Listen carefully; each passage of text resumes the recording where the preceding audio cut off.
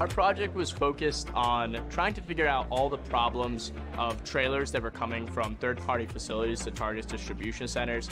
The main challenge was there hadn't been a previous attempt to try to sort of quantify um, the negative impact that those trailers were having at Target RDCs on the team members who were unloading these trailers.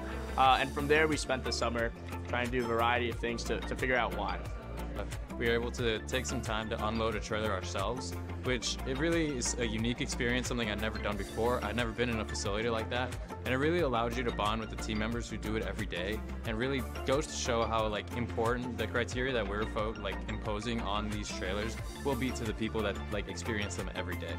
Uh, it was very interesting, kind of getting to see how all the various uh, teams within such a big company work together.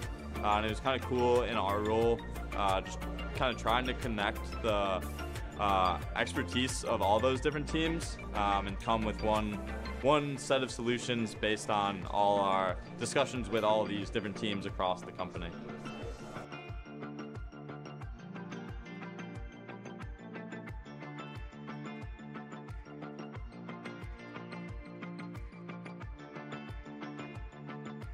Got a lot of teams involved, and we had infinite amounts of support throughout it.